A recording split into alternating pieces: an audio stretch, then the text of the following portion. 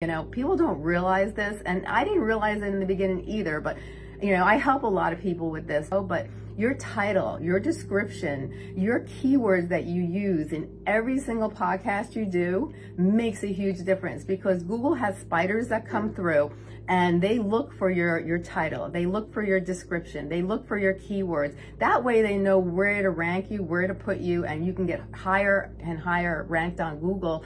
And that makes a big difference too, because you want to be seen. And, you know, that's the whole point.